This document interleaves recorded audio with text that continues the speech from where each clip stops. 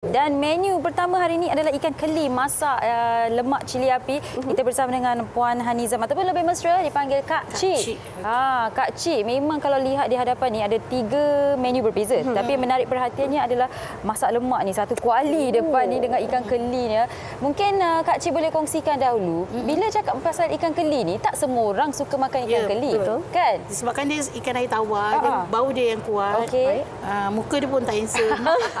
Lepas tu tapi sebenarnya dia bagus. Ah. Daging dia halus. Okey. Dan cara kita ah, kita nak makan ikan keli ni sebenarnya hmm. okay. lepas kita siang tu nak bersihkan dia beza dengan ikan laut. Okey, macam okay. mana tu? Sebab tu? kita kena basuh dia sebelum, uh-huh. sebelum basuh dia tu kena uh, orang kata kesat bagi dia kesat dengan bawang lendir-lendir okay. dengan garam dan asam limau. Okey. Okay. Selain pada buang lendir, nak buang hanyir dia juga. Mm-hmm. Lepas tu, baru kita masak. Habis lebih lama bersih, baru masak. Okay. Dan okay, dalam baik. ikan keli ni juga, kadang-kadang yang dah di, siap di siang, kita jangan terus ikut tu. Kena okay. buang juga ada darah dekat dalam dia. Okey. Ha. Baik. Kalau kita cakap tentang masak lemak cili api Ha-ha. daripada Kak Cik sendiri, yeah. kat mana perginya keistimewaan air tangan Kak Cik ini?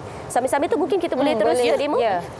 Ha, air tangan Kak Cik tak ada yang istimewa. Okay. Cuma, uh-huh. benda-benda mudah. Aha.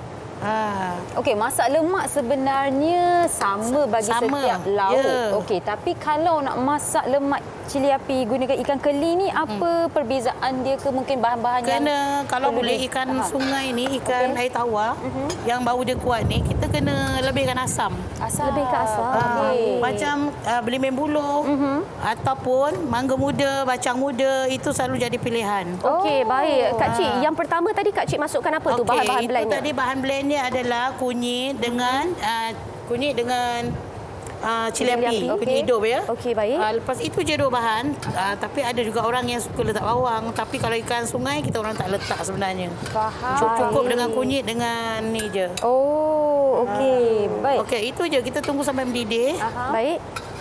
Oh itu yang ha. mangga yang dah masak tu. Yeah. Ini mangga muda yang kita nampak ha, kat atas. Mangga muda. Itu apa terung pipit betul ke? Ah terung pipit. Oh. Andai sugi.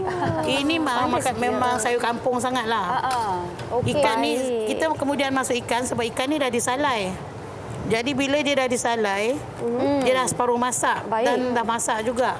Baik, kalau kita dapat lihat kepada Kak Cik, Kak Cik mm-hmm. gunakan mangga muda, betul. Yeah. Kenapa muda. agaknya dipilih uh, mangga muda ini dipilih? Nak kurangkan rasa hanyir? Ah, kurangkan rasa hanyir. Lagipun mangga muda ni sedap dia sama macam limau buluh juga. Mm-hmm. Disebabkan sekarang ni tak musim limau buluh, mm-hmm. kita cuma ada mangga muda. Oh. Jadi kita masuklah apa yang ada. Ha, dan paling sedap daripada mangga muda adalah bacang muda. Bacang oh. muda? Ha, bacang muda tapi pun tak ada sekarang ni. Okey, tapi okay, Kak Cik, okey, hmm. kalau tak jumpalah ma- mangga muda ke buah belimbing kan nak bagi dia masam sikit, kita boleh tambah apa? Asam jawa ke asam keping? Ah ha, boleh asam jawa dan asam keping. Kita lebihkan lah. Ha, oh. Tapi kalau kita nak sayur dia, hmm. letaklah pucuk ubi. Oh. Kalau orang dulu-dulu gulai ikan dengan pucuk ubi dia akan simpul pucuk ubi. Oh. Sebab apa? Sebab nak mengelakkan pucuk ubi dengan tulang ikan bercampur. Okey, oh, baik. baik. Dan yang hmm. saya perasan Syira, Kak Cik dah goreng ikan keli. Ini salah. Dia macam uh, bukan bakar direct dengan okay. api uh-huh. dengan uap asap uh-huh. saja. Okay. Sebab ikan keli ni je ni paste. Baik. Bila kita terlampau keringkan daging dia akan lari. Okey. Okey. Okay. Uh. Baik. So, uh, Kak Cik, ini resepi hmm. dari dari mana ataupun memang resepi Memang ni, biasa. Kalau terutama dekat Negeri Sembilan, uh-huh. memang lauk ni luar biasa. Mana-mana rumah je. Memang ada. Kalau tengah hari pergi 10 rumah, 8 rumah mesti ada gulai macam ni. Wah, wajib uh, untuk orang Negeri Sembilan ya. Uh-huh. Tapi cuma mungkin sekarang kesedaran tu tentang lemak ni dah kurang. Okay. Dia dah banyak. Okey. Okey, okay, Kak Cik boleh terus hmm. Masukkanlah okay. je ya. Baik, silakan. Ha, kan nak cepat kan. Baik, Kak Cik, uh, betul kan saya kalau saya salah? Betul ke orang kata masak lemak cili api ni susah sikit nak masak nak pastikan dia tak berketul? Ah, uh, ya betul kena Apa jaga. Apa tipsnya tu untuk kena pastikan tak lah. berketul? Kita kena jaga garamnya kena cukup masa okay. dia nak mendidih sebab uh-huh. kalau garam tak cukup masa nak mendidih, uh, dia akan jadi apa? berpecah minyak. Ha, Kak Cik oh. pun dah letak garam sebenarnya masa blend uh, cili. Jadi dia kita tunggu je masak aje lah kalau tak cukup hmm. baru tambah. Okey, okay. kalau kita lihat cara nak masak ni memang mudah. Mudah okay. je, bahan okay. mudah. Saya lihat ikan keli tu pun dah digur uh, disalai. Hmm. Tadi Kak Cik kata apa? Salai, salai tapi bukan direct dengan api. Bukan asap dia je. Asap, asap saja. Apa uh, apa uh, nak disalai tu Kak Cik gunakan uh, kunyit ke apa ke tu? Kunyit dengan garam saja. Kunyit dengan garam. Okay. tu bersih kunyit dengan garam kita salai. Okey, kalau katakan orang yang betul-betul nak makan healthy lah, dia tak nak hmm. goreng-goreng goreng, dia nak rebus bakar. ke bakar. Bakar cicah dengan asam dengan kicap pedas. Aha. Wow. Ah, boleh dengan macam tu je. Oh. Maksudnya ada pelbagai teknik lah Ada untuk kita pelbagai masak teknik. ni. Jadi ikan Okey. keli ni tak adalah kalau kita tak orang kata tak goreng ke apa dia tak pecah ya bila kita masak. Eh tak tak. Ah. Kena hati-hati lah sebab Okey. dia lagi dia lembut kan, lagi Ah, dia ah. halus. Okey Okey, baik. faham. Kak Cik, kita dapat lihat di selain daripada ikan keli masak lemak, kita dapat lihat ada pelbagai lagi menu kat depan kita. Ni Ya. mungkin boleh Cik- Kak Cik nak Ini terangkan juga. ikan kembung rebus. Okey. Ikan kembung yang dah direbus tu kita goreng. Baik. Lepas tu kita tumbuk dengan bawang uh, bawang dengan cili api. Bawang Okey. dan cili api. Ah, dia macam sambal uh, sambal gesek tahu. Tahu, Ah, okey. itulah kita selalu guna ikan bilis. Ini kita guna isi ikan. Isi ikan. Ah, jadi baik. lebih sedap lah ada ni. Yang ini ikan cencaru sumbat serunding. Ini adalah serunding kelapa. Wow. Ah, yang macam dekat dalam cucur badak semua tu kan. Uh-uh. Ah, sun- Ini pula sambal. Yang ini adalah sambal.